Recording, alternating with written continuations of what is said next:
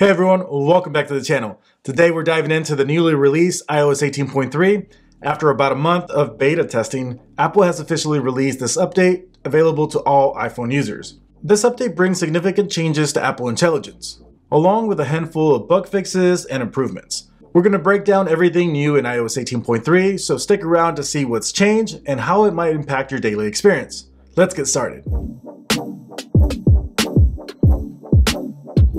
If you're ready to update, here's how you can do it. Open the Settings app, scroll down to General, then tap on Software Update. Once you see iOS 18.3, tap on Update Now. The build number for this update is 22D63, and if you're on iPad, iPadOS 18.3 is also available. First up, let's talk about the changes to Apple Intelligence notification summaries. This feature has been under some scrutiny after issues were raised by news outlets like the BBC. One high profile example involved a summary incorrectly claiming that an accused individual had shot himself. Definitely not the type of error you want to see. To address these concerns, Apple has now made several changes, including temporarily disabling summaries for news and entertainment apps. Notification summaries for these two categories have been turned off for now.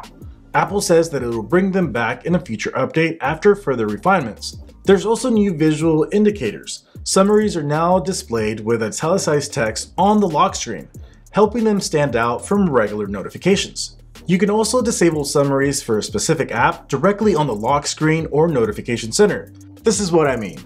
Just swipe to the left, tap on Options, and tap on Turn Off Summaries. Also, iOS 18.3 now clearly labels notification summaries and other Apple Intelligence features as beta. And there's a warning in settings about possible errors. Next, let's talk about the updates to Visual Intelligence, which are exclusive to iPhone 16 models. You can now scan a flyer or a poster with your camera, and Visual Intelligence will automatically recognize the event and add it to your calendar. Visual intelligence can also now identify an even broader range of plants and animals.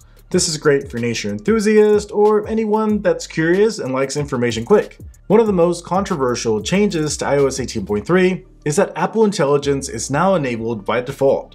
For users updating to iOS 18.3 or newly setting up iOS 18, Apple Intelligence will automatically be turned on during the onboarding process.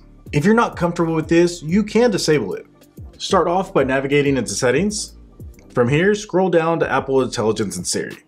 Here you can turn it off, and then just confirm that you actually want to turn off Apple Intelligence. As with any iOS update, iOS 18.3 also includes smaller tweaks and bug fixes. The calculator app now repeats the last operation when you press the equal signs again.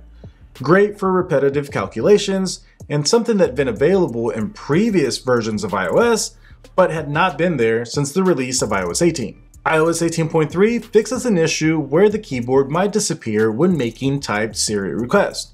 It also resolves an issue where music continued to play even after the Apple Music app was closed. Overall, iOS 18.3 might not be a game-changing update, but it introduces some welcome refinements and fixes. The changes to notification summaries address some major concerns, and the new visual intelligence features brings exciting functionality to the iPhone 16. But what do you think? Are these updates enough? And how do you feel about Apple enabling Apple Intelligence by default? Let me know your thoughts in the comments below. If you found this video helpful, please don't forget to like, subscribe, and hit that notification bell so you don't miss future updates. Thank you so much for watching, and I'll see you in the next one.